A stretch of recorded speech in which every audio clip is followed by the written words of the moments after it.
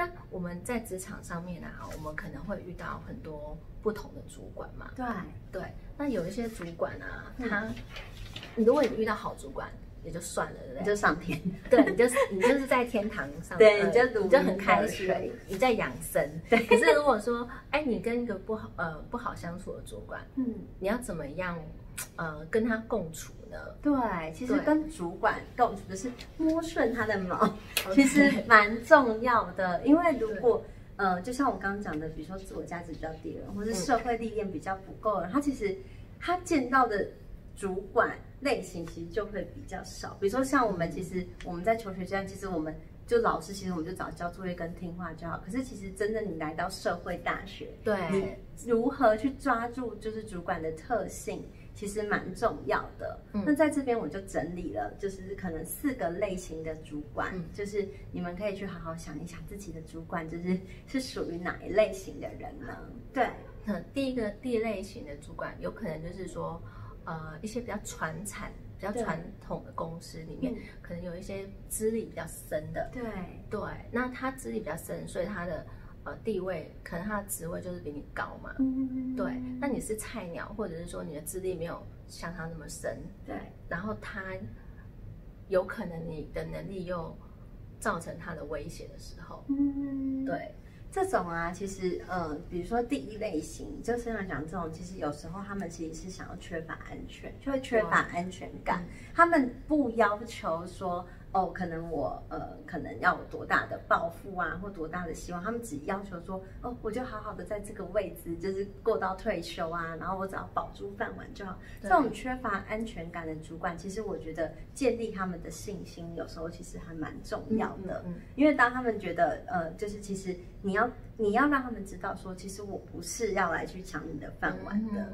然后我是想要，我是真的想要来辅佐你的。嗯有时候你提供一些薪资，或是让他看到你的专业能力的时候对，他们反而会把你就当做身边的身边的那个爱兵哦爱将，是就是是反而会好好的就是跟你相处。嗯然后尤其这种他缺乏安全感，其实某种程度也是自信。啊所以有时候当他讲话的时候，其实你多鼓励他啊，或是跟他们就是讲一些，比如说呃，可能比较引起共鸣的东西。嗯其实我觉得某种程度也会增加他们的安全感。对，所以如果说你的工作环境是属于老鸟居多，然对。后呃，可是老鸟它有分不同的老鸟这样子，对对对，对，这是其中一个。嗯，那另外一种主管也有可能就是呃自我中心的主管，对，就是你都要听我的，你们都这样做就不对啊，或者说什么的。对。对，其实自我中心这个主管啊，他们其实也还算，就是以这次呃，等一下会再讲两个类型，嗯他们也还算好相处，因为通常自我中心他又能爬到主管的人，嗯某种程度其实他们是有一定的实力的，嗯哼不然这种自我中心的，就是人家就只会觉得你就是刚愎自用啊，你就立刻就被淘汰。可是通常这种，其实我觉得你就是顺着顺应着他的能力，然后呢，如果你有持跟他有相反意见的时候呢，就是你可以在私底下跟他们讲，嗯。因为这种人其实他这种主管其实非常的爱面子，嗯。所以如果当你爱面子，对，就是你在当众就是给他难堪的时候，他会觉得说你怎么就是不听话，你怎么讲？他们其实反而会用各，而且这种人其实他们人脉其实通常都还蛮广的，嗯。不然他们就是不会这样爬到嗯。那么高的位置。所以其实你要小心，千万不要得罪他们。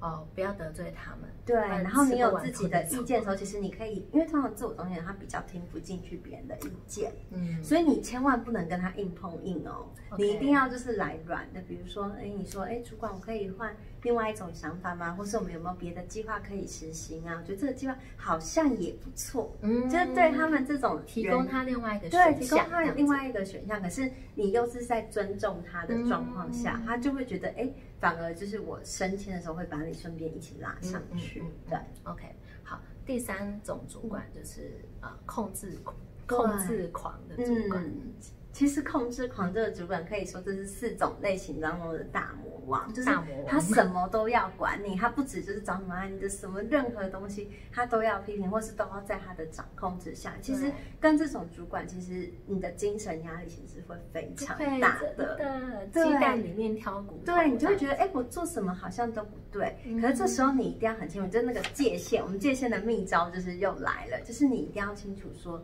哎，他这样子挑真的是我的问题吗？对，还是他对大家都这样？嗯因为如果你没有去分清楚说，哎，这是他本身的人格特质，嗯嗯你就会一直往自己身上去，然后就会觉得，哎，你成天跟他讲什么，然后他也听不进去，那你们的关系只会更糟。嗯，可是他也不会想改变，他就是因为他是其实某一种程度，他是他内心的那个焦虑感，哦，对，他会觉得，哎，我什么事情都要在 under control 这样，对他才不会焦虑。对，所以其实你就是安抚他的焦虑，哦对，好。这样就好了。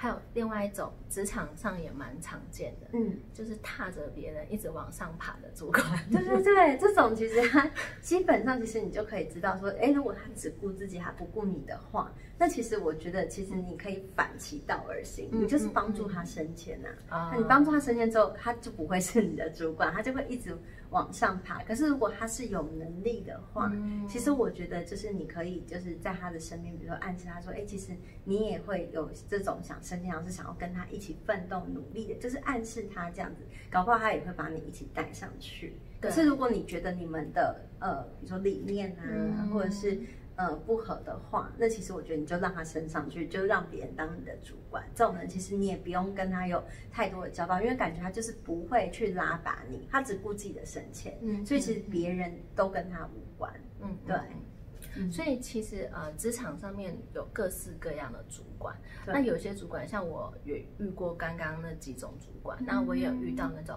呃非常会管呃领导或带领人家，或者是去呃 coach 你的主管。对所以其实呃，当你们在选主管的时候，嗯你们在面试或者是在选主管，其实蛮重要的。你要选一个呃比较有同理心的主管。嗯，对，就是说他跟你讲话的时候是比会尊重你的，对，会引导你，会就是引导你对，启发你的那一种。对，那种主管通常他是本身自己很有能力，嗯他也不会怕说你去超越他，然后他也会呃同理你的一个心态。对。